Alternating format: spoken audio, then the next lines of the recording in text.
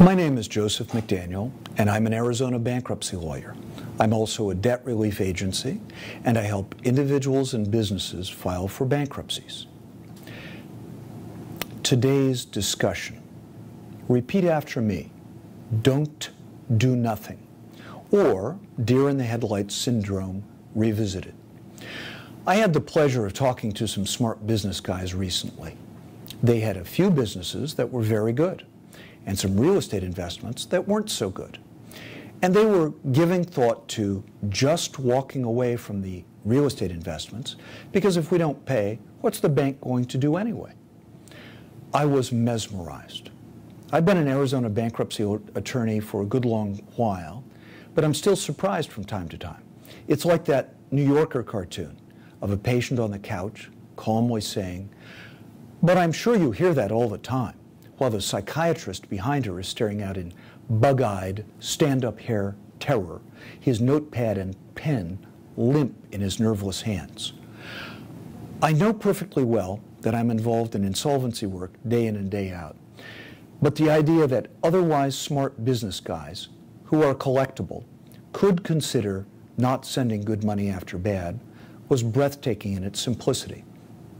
And I did the wrong thing. I told him the truth. I should have said, follow your heart, be brave, stand up to that mean old bank, file a lender liability lawsuit, and bring the bank to its knees. Then, after two years, I could have filed their bankruptcy cases for them. What I said instead was, lawsuits are for dummies and guys who expect to win in Vegas. The only winner in Vegas is the casino.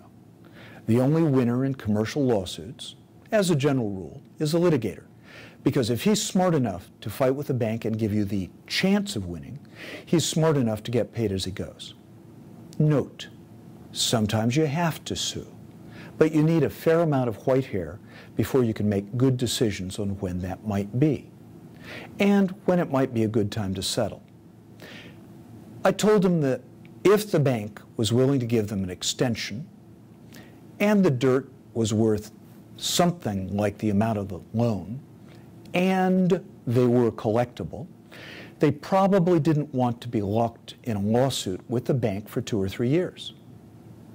If the market recovers, how cooperative is the bank going to be in helping to facilitate selling the property during a lawsuit? You know? And when will dirt in Arizona go back up in value? Well, if I knew the answer to that question, I wouldn't be working for a living. But I do know the answer to this question. Will the value of real estate in Arizona go up? That answer is yes. The only question is how long it will take. I also know what happens when you just walk away from a real estate investment with that particular bank because that particular bank has inadvertently sent me an awful lot of business.